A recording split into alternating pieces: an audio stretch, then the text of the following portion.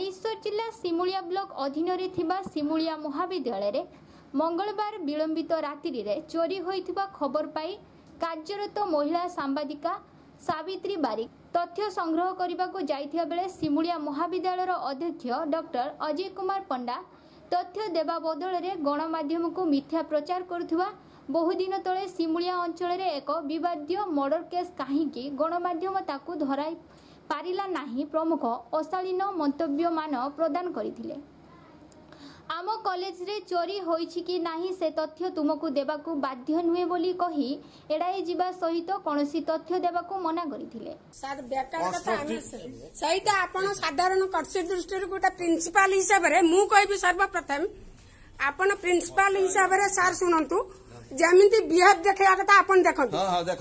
ବୁଝିପାରିଲେ ପ୍ରଶାସନିକ କଳରେ ନାଲି ଆଖି ଆପଣ ଦେଖେଇବାକୁ ଆମେ ବି ଗଣମାଧ୍ୟମ ଆମେ ବି ଆପଣ ଆପଣ।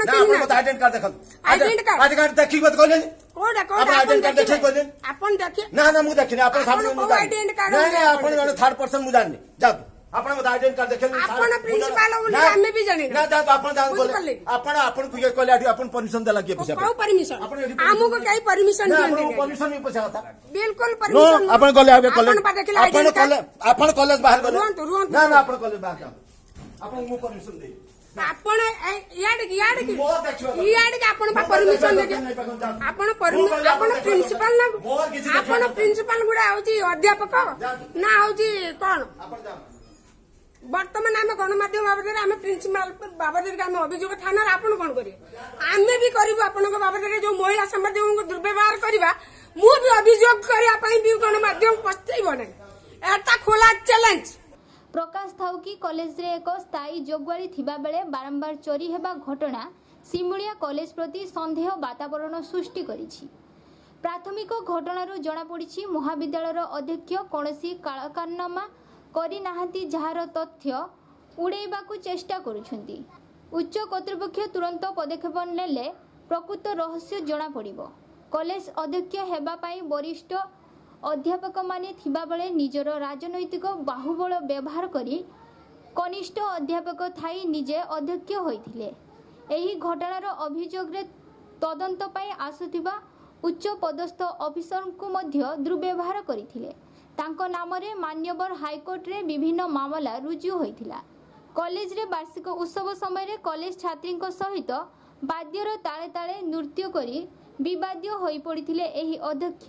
ଫଟୋକୁ ଡୁପ୍ଲିକେଟ୍ ଓଠ ତାରି ପାଇଁ ହେଇଗଲେଣି ଲକ୍ଷେ ପୁଅ ନଷ୍ଟ। ସାର୍ ତେଣିକି ଯିବାକୁ ବାହାରୁଛନ୍ତି ହେଲେ ଛୁଆ ଛାଡୁନାହାନ୍ତି। ତାପରେ ସାର୍ କଣ କରିବେ? ଆଇଛନ୍ତି ତ ଦୀପାବେ ନାଚିଦବା। ଆଉ ଗୋଟେ କଥା ସବୁବେଳେ ଷ୍ଟ୍ରିକ୍ଟ ହେଇ ରହିବା ବି କଣ ଗୋଟେ? କେତେବେଳେ କେତେବେଳେ ଟିକେ ବିନ୍ଦାସ ହବା କଥା। ସେଇ ଖୁସିରେ ବୋଧେ ଚାଲିଛି ଆଉ। ଅଧରେ ଆଧାର କାର୍ଡ ଲିଙ୍କ ହଉ ଫେସବୁକରେ ଖାଲି ଅଜଣା ପଡିବ ଏଞ୍ଜେଲ ପ୍ରିୟା ସୁକୁଟି ସାହୁ ବୋଲି। ସୁକୁଟି ସାହୁ ବୋଲି।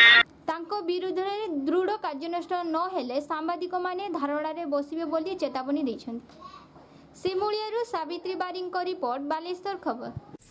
ମୁଁ ସାବିତ୍ରୀ ବାରିକ ଶିମୁଳିଆ ବ୍ଲକର ପ୍ରିଣ୍ଟ ମିଡିଆ ତଥା ବିଦ୍ୟୁତ ବିଭାଗର ଗଣମାଧ୍ୟମର ପ୍ରତିନିଧି ଅଟେ। ଆଜି ସକାଳେ ସାତ ଘଟିକା ସମୟରେ ଆମେ ବିଶେଷ ସୂତ୍ରରୁ ଖବର ପାଇଲୁ କି ଯେ ଶିମୁଳିଆ କଲେଜରେ ଚୋରି ହେଇଛି। ତ ଏ ୟା ପୂର୍ବରୁ ଆମେ ପାଇଥିଲୁ ଯେ ଶିମୁଳିଆ କଲେଜରେ ପରୀକ୍ଷା ଚାଲୁଥିଲା ବେଳେ ପ୍ରବଳ କପି ହେଉଥିଲା ତାହା ବିଭିନ୍ନ ପତ୍ର ପତ୍ରିକାରେ ହେଉଛି ପ୍ରକାଶ ପାଇଥିଲା। ତ ଶିମୁଳିଆ କଲେଜରେ ବି ଗାଡ଼ି ପାର୍କିଂ ହେଉଛି ରାତିରେ। ତ ସେଠି ତାଲା ପଡ଼ିଥିଲା ବେଳେ ଏଠି ପାର୍କିଂ ହେଉଛି କିଭଳି ଏସବୁ ତଥ୍ୟକୁ ନେଇ ଆମେ ଶିମୁଳିଆ କଲେଜରେ ପହଞ୍ଚିଥିଲୁ ସକାଳ ଆଠ ଘଟିକା ସମୟରେ। ସେଠାରେ ତାଙ୍କର ଯିଏ କର୍ମଚାରୀ ଆମକୁ ସମସ୍ତ ଜାଗା ଦେଖେଇଥିଲେ ଏବଂ ସେ ପ୍ଲେସରେ ସବୁ ଯୋଉ ଯୋଉ ଘଟଣା ଘଟିଥିଲା ଗାଡ଼ି ଭାଙ୍ଗିବା ସିସି କ୍ୟାମ୍ ଟିଭି ଭାଙ୍ଗି ତଳେ ପଡ଼ିବା ଚାବିକି ଖୋଲିବା ଆଉ ରେକର୍ଡ ରୁମ୍ରେ ଗଡରେଜ ଆଲମାରି ଖୋଲି ତାକୁ ଖୋଲା ହୋଇଥିଲା। ଏସବୁ ଘଟଣା ଦେଖି ସାରିଲା ପରେ ଆମେ ଯାଇଥିଲୁ ଆମେ କଲେଜ ଅଧ୍ୟକ୍ଷ ହେଉଛି ଅଜୟ କୁମାର ପଣ୍ଡାଙ୍କ ପାଖକୁ। ସେଠି କଲେଜ ଅଧ୍ୟକ୍ଷ ଆମକୁ ତଥ୍ୟ ଦେବା ତ ଦୂରର କଥା ପ୍ରଥମେ ଆମକୁ କମେଣ୍ଟ କରିଥିଲେ। ସାଧାରଣତଃ କର୍ଷି ଦୃଷ୍ଟିରୁ ସେ ଆମକୁ କହିପାରିଥାନ୍ତେ ଯେ ଘଟଣା ବାବଦରେ କି କ'ଣ ହେଇଛି ନାହିଁ ଆମେ ପଚାରିବାରୁ ଆମକୁ ପ୍ରଥମେ କମେଣ୍ଟ କଲେ। ତାପରେ କହିଲେ କି ଗଣମାଧ୍ୟମ ହେଉଛି ସବୁ କ'ଣ ସତ୍ୟ ପ୍ରକାଶ କରୁଛି ଏ ଗଣମାଧ୍ୟମ କ'ଣ ଆମେ ଚିହ୍ନିନୁ କି ଜାଣିନୁ?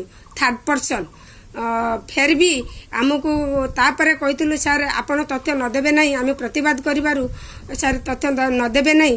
ଆପଣ ଏଭଳି ଗଣମାଧ୍ୟମକୁ ଭର୍ସନା ଆଉ କମେଣ୍ଟ କରିବାଟା କ'ଣ ଗୋଟେ ଶିକ୍ଷା ବିଭାଗରେ ଏଇଟା କ'ଣ କର୍ତ୍ତବ୍ୟ? ଆଉ ଦାୟିତ୍ୱର କଥା? ତ ସେ ବାବଦରେ କି ସେ ମାନି ନଥିଲେ। ପ୍ରଥମେ ଏ କଥା ପ୍ରତିବାଦ କରିବାରୁ ସେ ଆମକୁ ଉତ୍ତକ୍ତ ହୋଇଥିଲେ ନାଲି ଆଖି ଦେଖେଇଥିଲେ ଧକ୍କା ମାରିଥିଲେ ଛାତିକି ଛାତି ଭିଡ଼ି ଆସିଥିଲେ ଗେଟ୍ ଆଉଟ୍ ବୋଲି କହିକି ବାହାର କରିଦେଇଥିଲେ। ଏଠୁ ଜଣାଯାଉଛି ଜଣେ ଅଧ୍ୟକ୍ଷ ସେ ଦାୟିତ୍ୱରେ ଥିଲାବେଳେ ତ କ'ଣ ଛାତ୍ରଛାତ୍ରୀମାନଙ୍କୁ ସୁରକ୍ଷା ଦେଉଛନ୍ତି ତ ତାଙ୍କ କର୍ମଚାରୀମାନଙ୍କୁ ସୁରକ୍ଷା ଦେଉଛନ୍ତି ତ ଗାର୍ଡିଆନମାନଙ୍କୁ କି ସୁରକ୍ଷା ଦେଉଛନ୍ତି ତ ଏଇଠୁ ଜଣାଯାଉଛି କେତେ ହିଂସାତ୍ମକ କେତେ ମାରାତ୍ମକ କେତେ ଅହଂଭାବ କେତେ ହେଉଛି କୁସଂସ୍କାରୀ ଅଧ୍ୟକ୍ଷ। ତ ଏ ଆମର ଯେହେତୁ ଛାତ୍ରଛାତ୍ରୀଙ୍କ ଉପସ୍ଥିତିରେ ଏବଂ ତାଙ୍କ କର୍ମଚାରୀଙ୍କ ଉପସ୍ଥିତିରେ ଜଣେ ମହିଳା ସାମ୍ବାଦିକଙ୍କୁ ଦୁର୍ବ୍ୟବହାର କରିବା ଆଉ ଛାତିକି ଛାତି ଭିଡ଼ିବା ତ